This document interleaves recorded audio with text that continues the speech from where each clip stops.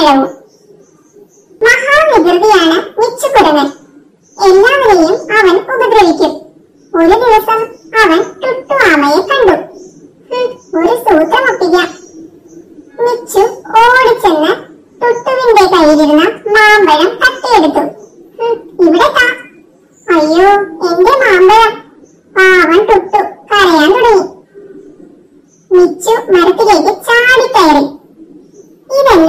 ചുട്ടനുറുമ്പും കൂട്ടനും കാണുന്നുണ്ടായിരുന്നു. കുരങ്ങച്ചനെ ഒരു പാഠം പഠിപ്പിക്കണം. അവർ കരുതി. ഉറുമ്പുകൾ ഓടി വന്ന് മിച്ചുവിന്റെ ദേഹത്തേക്ക് കയറി. എന്നിട്ട് എല്ലായിടത്തും നല്ല കടി വെച്ചു കൊടുത്തു. മിച്ചുവിന്റെ ദേഹമെല്ലാം ചൊറിഞ്ഞു.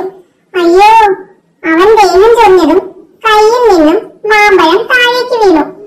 ഓടിച്ചെന്ന് മാമ്പഴം എടുത്ത ടുട്ടു ഉറുമ്പ് കൂട്ടുകാർക്ക് നന്ദി പറഞ്ഞു. വികൃതിയായ മിച്ചു നാണിച്ചു പോയി